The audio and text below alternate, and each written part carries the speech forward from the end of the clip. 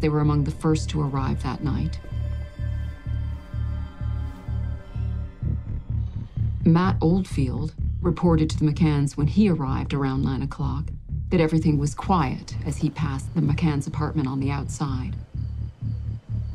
About 9.05, Gerry got up from the table to make the first check on his own children.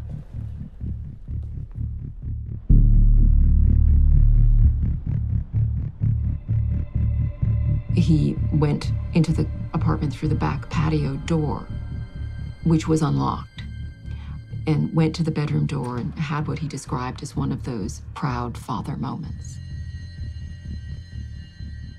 Looking in at his sleeping children and thinking how lucky he was.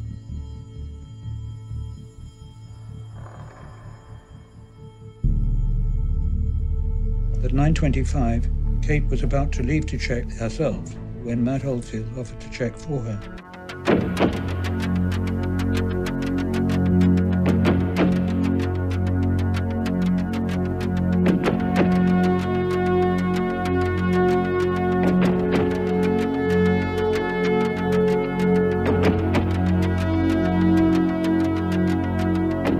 Hello and welcome to True Crime Rocket Science.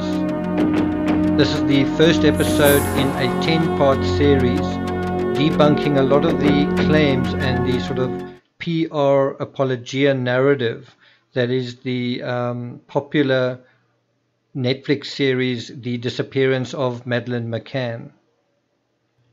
As a professional author and storyteller, I'm fascinated by the whole process of trying to prove, almost like a court case, trying to prove um, a particular case, a particular reality.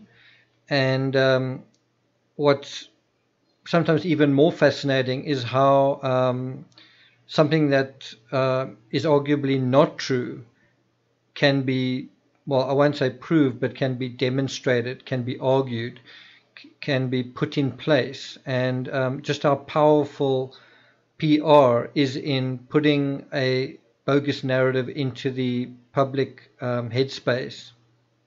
So if the truth can set you free, so can very good PR. Just a little backstory in terms of my um, uh, involvement, expertise, um, you know, relevance, I guess, to the Madeleine McCann case. I've written four books on the Madeleine McCann case, the Doubt trilogy. Um, the first Doubt book of mine has about 47 reviews. Um, it's only available on Amazon Kindle. Um, the Kindle book went to number two on the UK bestseller charts on the 10 year anniversary. For quite a long time, it was um, above Kate McCann's book the same year. Uh, I then wrote um, Doubt 2 and Doubt 3, and both books also then really went. I, am not sure if they went to the the top, but they, they certainly did also um, uh, Frog Leap, Kate McCann's book, for, for a while. Um, I then uh, followed that trilogy up with um, a book called Deep into Darkness, and um, that uh, that book kind of deals to some extent with the narratives of the Tapas Seven and that's why I've played the um, audio clip, the one minute audio clip at the beginning of this episode, where you hear um, the voice of Robbyn Swan, the co author of Looking for Madeleine. Now, the disappearance of Madeleine McCann is largely based on um, Looking for Madeleine, and it's also often narrated by one or both of the co-authors. Uh, the other author being Anthony Summers. You hear his voice sort of towards the end of that minute long clip. Um, again, what's fascinating to me is um, you have a 20 million pound documentary based on a narrative that's one of the least popular on Amazon. Uh, I think at the moment it's um, ranked 2.7 stars out of 5. Um, I think it's got over 100 reviews, um, but it's 2.7 out of 5 is, is quite a low ranking. Um, a lot of people that disagree with my version have sort of hated on my book, but I still have a 3.1 rating for doubt. And um, as the books go on, the rating goes higher. Uh, a lot of the reason that I, um, I think that my my narrative attracted a bit of vitriol is I used a narrative device to tell my story. Um, it's the first time a book um, on the particular angle that, that I took has actually been um, published successfully on Amazon. And it was necessary to use this narrative device, um, the Raven, for this reason. Some people either didn't understand why I was using it or pretended they didn't understand. So I guess that's a bit of my backstory. Something else I can tell you is that in May last year, May 2019, uh, I actually traveled to Portugal. I spent 10 days um, running around Praia da Luz, um, talking to people and um, taking photos, uh, taking some measurements, uh, timing certain routes, etc. Um, I'm not going to go into that right now, but just to let you know that some of the images that you're going to see are images taken um, by me um, in Praia da Luz. Uh, I also have some background as a um, photojournalist and an investigative writer, um, kind of as a magazine journalist. So some of the photography you're going to see is, um, you know, print, print, um, print media quality. And so I think without any further ado, let's get um, into the review of episode one. If you think you're going to find this analysis interesting, then uh, please subscribe to the channel, like, share, leave a comment. And you can also read uh, the analysis on the Crime Rocket blog under the McCann tab.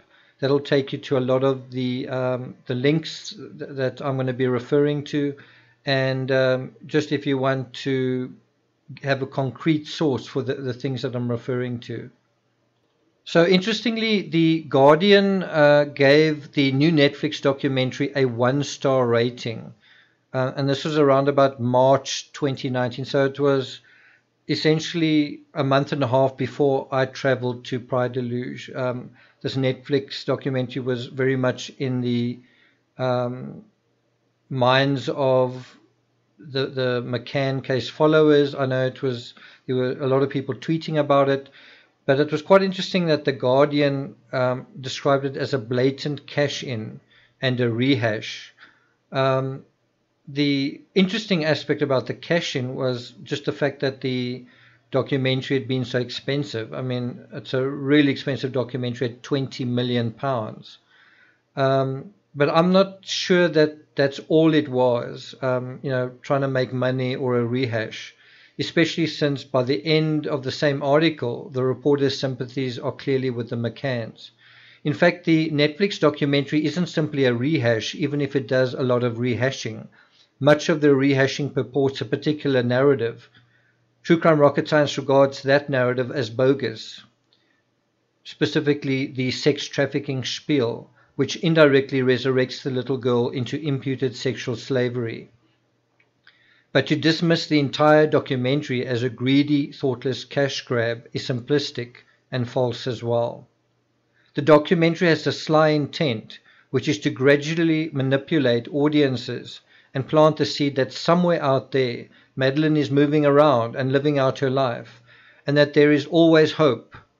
This pitch starts from the very first frame and the very false and the first false facts, broken shutters and so on, uh, follow in short shrift shortly thereafter. And now we're going to go into um, about 15 general observations from episode 1. Beneath the Truth. I must say I find the title very ironic. Um, that the title purports to be um, a search for the truth beneath the truth. Um, and it reminds me of the current uh, apology going on with John JonBenét Ramsey, uh, hunting JonBenét's killer. So, you know, we're going to hunt John JonBenét's killer. Uh, we're going to turn our backs on the police investigation and we're going to go hunting for John JonBenét's killer somewhere else, you know, just in, in the whole conspiracy theory area. You have exactly the same thing with the McCann thing, which is we're going to go hunting for Madeleine McCann's abductor, but we're not going to look at um, the um, the police investigation and what the police themselves in da Luz were sort of preoccupied with. And so this whole thing of um, the truth beneath the truth is kind of a joke. So I was quite intrigued by how this documentary opened. Um, you know, again, as a narrator, I've got to visualize a strong start, a strong opening, a compelling um, you know, start to a story that's been told so many times in different books all over the media. Where does one begin? And so, how the documentary series begins is with aerial drone footage, um, giving quite a refreshing spatial context to the greater crime scene of da Luz. I don't think I'd ever really seen the Ocean Club um, sort of from that particular angle and actually what you're seeing there isn't the Ocean Club. You're sort of seeing um, kind of a building in front of it. Um, I've walked down that road, um, so I know how that sort of building actually obstructs the view of the Ocean Club. That's um, as you're looking at the picture, sort of more to the right. The um, the Baptista supermarket is basically directly below that sort of monstrosity of apartments uh, and kind of to the right, right, as you're looking at the image. And then the Ocean Club is um, behind the not only that monstrosity but also the, the supermarket also to your right. Um, kind of going in a sort of uphill um, trajectory. Number two, um, okay, so let me just finish the first point. Um, so, what's a little bit, I guess, disconcerting about that opening scene is you, you feel a little bit disconcerted. You're not quite sure where you are, what you're looking at. And I think that's intentional. You, you, you, you're supposed to be a little bit confused, and the documentary is now going to educate you and, and show you kind of what's going on. Um, one of the opening sounds, ironically, given the use of the raven motif that are used in Doubt, is the cawing of birds over the Ocean Club crime scene. So, again, uh, as I mentioned earlier, um, I took a lot of flack for using a particular um, device, narrative device. As I say, a lot of people either couldn't understand why I did it or pretended that they couldn't understand. Um, I think a lot of people very cynically uh, took something that I needed to use and pretended that it was a valid criticism uh, when it was actually the opposite. It was quite a, I think, a clever tool to tell a difficult story. Um, and so, yeah, it was just interesting for me that the, the very first moment when this 20 million documentary opens is with kind of the sound, like an aerial shot with, with the sound of a bird crying. Um, and uh, just personally, as a as a storyteller, as someone who wrote that trilogy, um, it felt kind of um, like a, um, maybe indirect. I don't think it was done purposefully by the producers, but it, it felt like a, um, in the narrative sense, a little bit of a pat on the back because I know when I wrote the Doubt series, I did want to not be constrained by um, time and space. I wanted to be able to write a narrative that could could um, walk through walls and travel through time, and and so that's what I did. Okay, so enough about that. Uh, on to point number two. A random family with children is seemingly selected to voyeur through the sights and sounds of Praia da Luz. This is how the um, first episode sort of progresses. You sort of see this um, scene, and then suddenly you're on the beach with kind of a random family, and they sort of telling you what it's like to be there. Um, you know, to get a feel for what it was like when the McCanns were holidaying in May uh, 2007. I was in da Luz in May um, last year, so 12 years after the fact.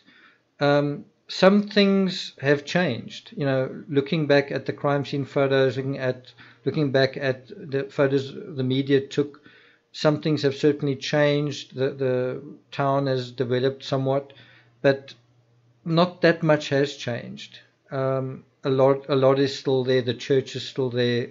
The Ocean Club looks very similar, basically, to the way that it looked. The supermarket is still there.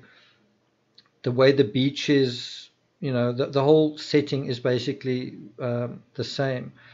Um, there are probably more cultural differences that have changed since then. Just the um, the fabric of society, I think, there has been torn to some extent by by this crime and uh, and it, and it, its effects linger. Um, so in any event, the family featured in the documentary happened to be in Luz when the incident around Madeleine McCann occurred as well.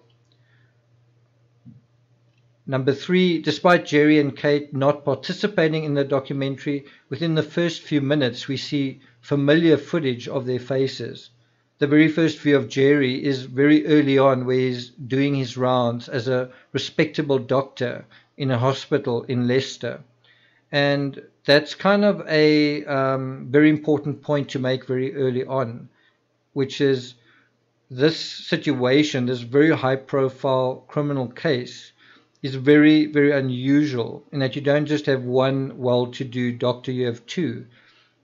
And in a sense, that's the strongest I don't want to say alibi, but it's it's kind of the strongest aspect in the McCann's pocket is that they are respectable doctors. And I've written quite extensively about this, but if you have to ask yourself um, who is more credible in society, who is more trustworthy in society, who's given more social kudos in society, who's hierarch, who is high in the social hierarchy, doctors or policemen? So if a doctor says something, what value does it have in compared to a, a policeman saying something? And and that kind of sums up the whole McCann case in a nutshell. Number four, the sympathy narrative is also established early on with a woman's voice intoning about how the couple were desperate to have children, finally resorting to in vitro fertilization.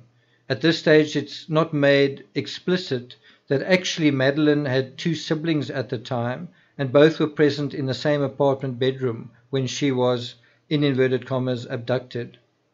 It should also be noted that post abduction, none of the younger children woke up, in spite of a chaotic cacophony playing out around them. And this kind of has a parallel with Burke Ramsey in the JonBenét Ramsey case, where the one child has been kidnapped and ultimately it turns out she's dead. And you know it's a devastating thing to happen to your sibling and yet Burke Ramsey just seems completely fine. He's not worried. He's not crying. Even days later he's also not worried and crying and he just wants to get on with his life and he's just happy to play computer games. So he's not traumatized by what's going on and both the Ramseys and the McCanns kind of share a thing where the public kind of looking at them constantly in the media were wondering why aren't they more heartbroken? Like wh- where are the actual tears? That they kind of making the right sounds but but are they where's the actual grief? And that that was something that that that, that both um, cases kind of have in common um, whether you believe the families or not people were sort of wondering why um, there was so much publicity and, and so little grief on display. And both families were taken to task in the media about this, and then later on, you did see grief, um, you know, after it, after it was brought up, or you saw what appeared to be grief. Um, it should be also noted that post abduction, um, as I said, none of the younger children woke up despite the cacophony playing around them. So there literally was a cacophony in both the Ramsey case and the um, McCann case. In the McCann case, you literally had a stampede of hotel guests um, running through the you know apartment 5A, and two little children. You know, I think they were like a year and a half um, of age, simply slept through it all. And um, in the Ramsey case, you also had a cacophony of police officers, several, I think at one stage it was four or five, literally running through the house, um, shining a torch. And in the Dr. Phil interview, Burke says, you know, someone shone a torch in his in his bedroom, and he just continued lying there and um, preferred not to think anything was wrong. Uh, the idea of the children being sedated is not new, and I pro- provide a link that you can follow to, to go into that. Um, although some stories about rows and sedatives have since been removed online, but will it be mentioned in other episodes of this definitive documentary?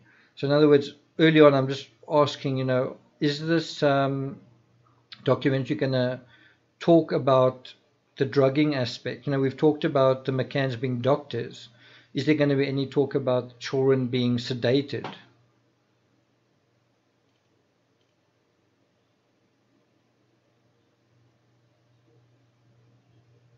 And uh, I provided a link from um, a blog that just references this moment where where Kate kind of seemed to be very concerned about her two children that, that were sleeping so soundly while Madeleine was missing. So, so Kate wasn't sort of running around outside looking for Madeleine. She was trying to make sure that her um, surviving children were okay. And um, this was something that, that others noticed as well. Um, point number five a pair of journalists are also selected who know the story inside out, uh, but initially they're not identified. This is in terms of the documentary. So you've you've also got journalists. So so far you've got two authors, um, and now you've got some journalists also who are sort of going to be narrating the story, and, and they're going to kind of be there for the long haul. Um, but it's kind of important to know who they are. You know, what are, what are these journalists' track record? What have they been saying all along? Um, you know, is it journalists from both sides of the fence, or is it just journalists that subscribe to the abductor story? And um, it's not going to be much of a surprise which side of the fence they are, but we'll get to that. Number six, we're told ahead of time that this case is a confusing jumble, and a lot of different faces are quickly implied as suspects a Russian, a neighbor, etc. They're basically kind of providing the scenario of who could it be? You know, it, this is just so confusing, um, and we're going to provide you guys with guidance. Um, of course, nowhere in that jumble of suspects do they sort of refer to the obvious suspects at the time. Number seven, Kate McCann's voice provides voiceover as the camera pans over Praia da Luz. She sounds like a normal mother who wanted to have a nice, fun holiday with her children. Uh, they can have fun separately, and so can the adults somewhere else. And uh, you know, when I was in uh, in Luz, um, I didn't see very many children when I was there. Something else that I experienced when I was there was that the topography is quite arduous. So even if you're walking 50 meters or 100 meters, uh, it doesn't really matter where you're going. Um, it's, it tends to be quite a um, steep, arduous sort of walk. It, you know, you, you're invariably walking kind of steeply uphill or steeply downhill.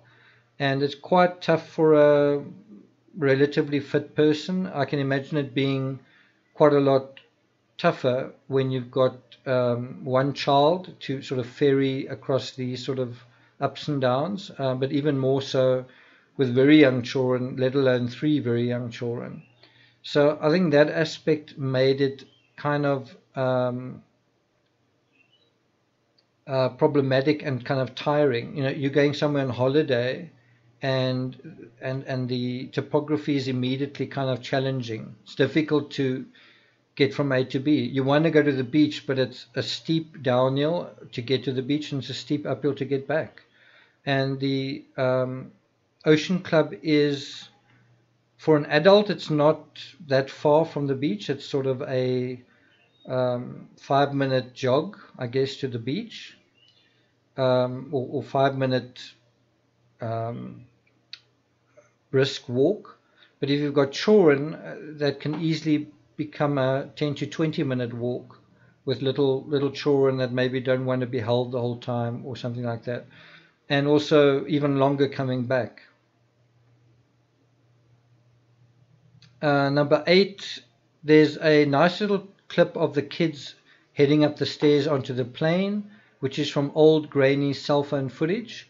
When Madeleine stumbles, a voice can be heard saying kindly and protectively, Oopsie daisy.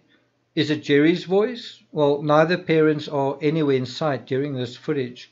But what is interesting is um, when you zoom in on this image, you can see it's copyrighted by the McCann family.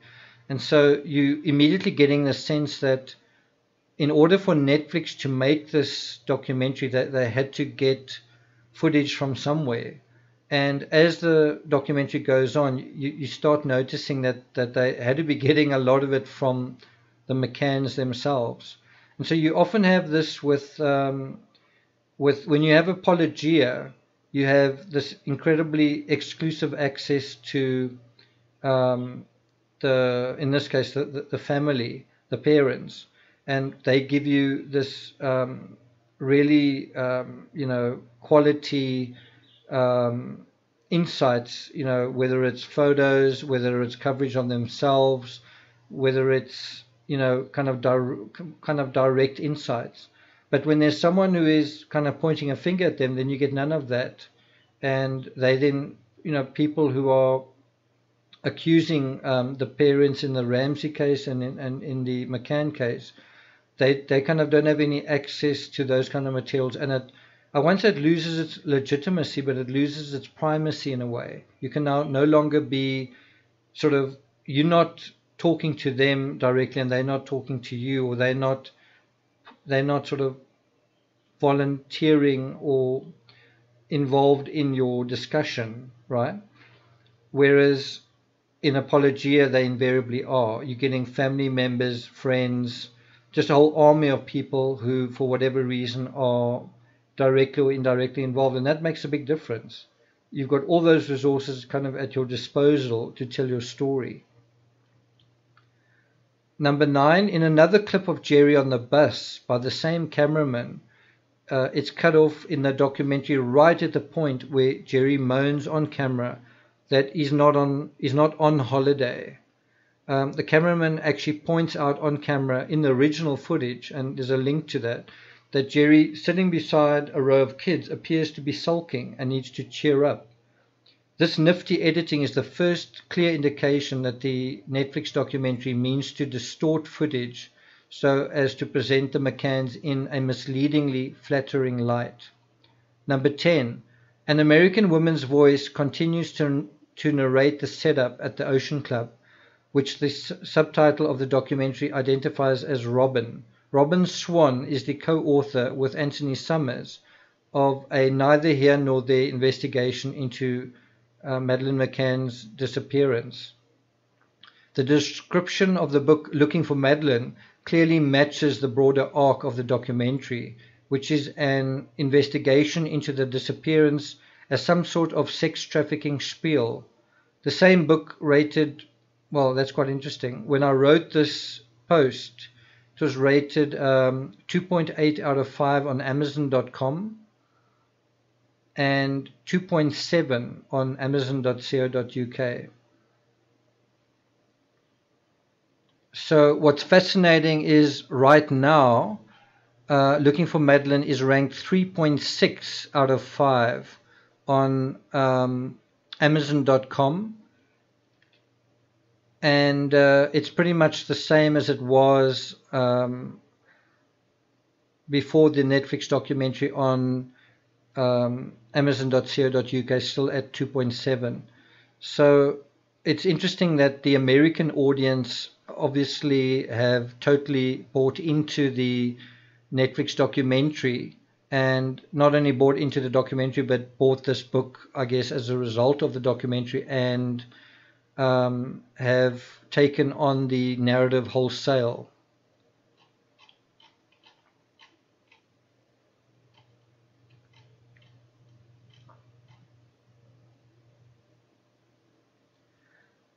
Uh, the book Looking for Madeleine also maligns the Portuguese investigation into the McCanns, just as the McCanns themselves have done.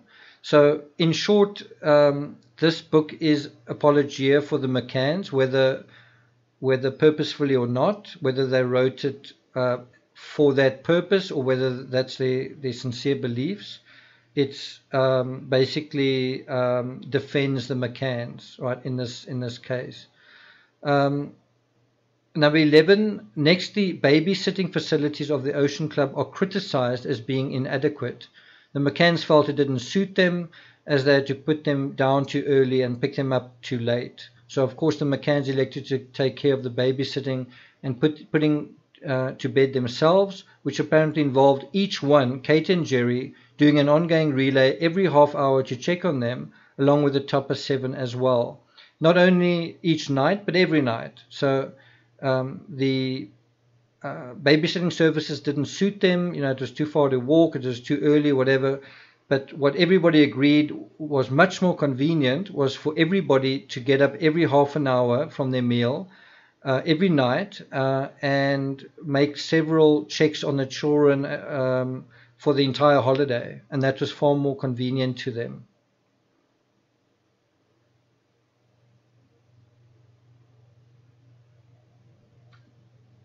One can say with some certainty, had the McCanns made use of the babysitting services, as deplorable as they supposedly were, uh, that every other family and that every other family seemed to be using, Madeleine would not have been abducted. She wouldn't have wandered off. She wouldn't have been killed, sedated. Pick, pick your scenario. So, in other words, the other families that made use of these services, nothing happened to their children. Number 12. In my first analysis of the documentary, I noted how after Madeleine's disappearance, the McCanns were only too happy to use the Kids Club creche facility. This is at the hotel where uh, Madeleine was supposedly abducted. So Madeleine's abducted. They don't use the creche facility, right? And then, sorry, I'm saying that in a way that's a little bit misleading. Um, they they did use the daily creche facility. So during the day, um, the children did go to their respective kids clubs. I think Madeleine went to a slightly older one compared to the children. Um, but the point being that um, after Madeleine was supposedly abducted, right, the parents left the children uh, in these creches regardless. I'm talking about the younger children. Now, what's important to bear in mind is um, if you're criticizing these facilities as inadequate after the fact, then why would you leave your own children at these facilities?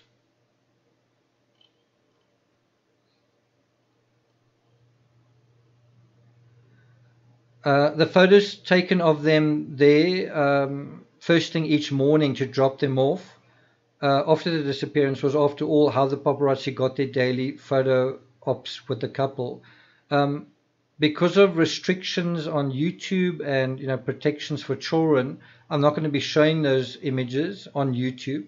But you're welcome to go to the original blog post to look at the images captured by the paparazzi.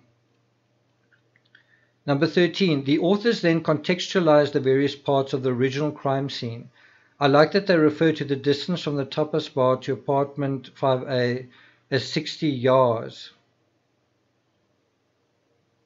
Uh, I think that should be yards as the crow flies. Um, I like that just because I used a raven in my thing and I had uh, my raven flying from the tapas bar over everything back and forth. So, yeah, just another um, thing that I would notice. Um, I don't expect anyone else to notice something like that. Um, number 14, the authors rationalize how the McCanns set up a relay team with the Tapas 7, and this is what I played at the beginning of this clip, where some of the parents would leave the restaurant midway through dinner and listen in on the various children in the various apartments. This is described as a better system than having all the kids together in a creche looked after by one person and thus allowing the couple to holiday the way most normal parents would. Of course, the doctors argue that their system is more normal and more sensible, which is why Madeleine was completely safe and nothing happened to her. Dot dot dot. Number 15, the backstory of the crime is glossed over in the sense that the crucial days leading up to May 3rd aren't covered, nor any of the incidents that took place in this week. Nothing is mentioned at this point about the controversial last photo either, taken on the first day of the holiday. Instead, the coverage deals with the afternoon of May 3rd and the kids being particularly tired that day. By the way, that's also what was said about um, JonBenét Ramsey. She was particularly tired and she just kind of went to bed and that was it. Um, they were particularly tired, so they would have slept particularly well that night, is the obvious but misleading inference. So that's 15 observations of roughly the first 10 to 15 minutes of episode 1. I think that's enough.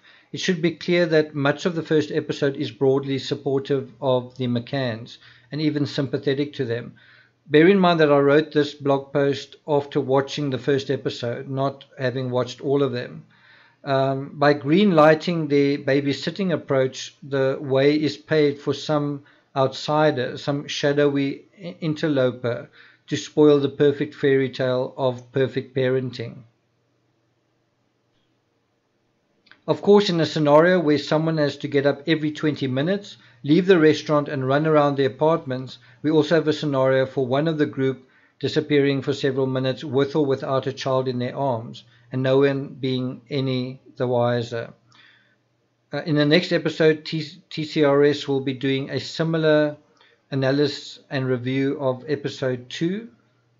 One thing I just want to um, uh, highlight uh, in terms of the opening clip was you hear this narration about um, Gerry McCann getting up to check on Madeleine.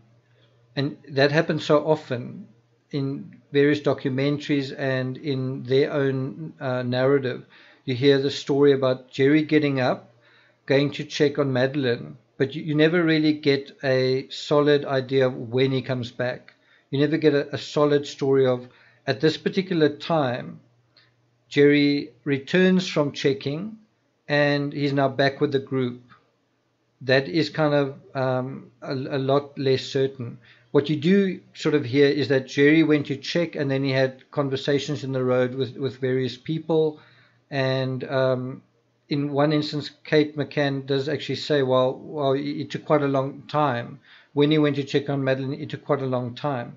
Um, something else uh, mentioned by Jane Tanner in a reconstruction, and we'll get to that, is where she, she also said, you know, she kind of let slip on camera where um, she said something along the lines of, um, because you took a long time watching football, or Kate was worried you were watching football.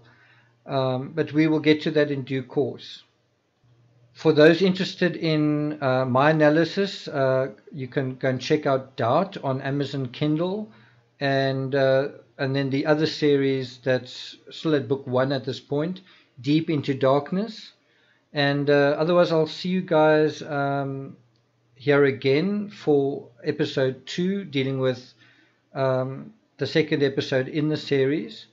Uh, in terms of Patreon, uh, you can also go and have a look at uh, another series debunking the Killing of JonBenét podcast. Um, episode two will be posted uh, later today as well. Thank you for listening.